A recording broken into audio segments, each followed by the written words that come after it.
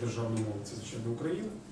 Але в інших е, країнах є інституції, які слідкують за дотриманням мовного законодавства, визначених законом сфери, а також займаються кодифікацією, правописом, дослідженнями, термінологією тощо.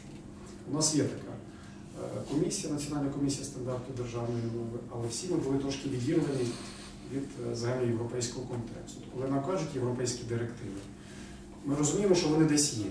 Їх ніхто не читав, але всі хочуть бути схожими, максимально наближеними до них. Ми пішли трошки інакше. Ми свою діяльність привели у відповідність до діяльності європейських мовних інституцій. Це не про е, знаєте, малоросійський принцип. Я бачу тільки себе і більше нікого. Це про принцип, як живуть краще, як е, мовну практику, скажімо, країн Балтії, які відчули на собі е, все щастя Радянського Союзу. в.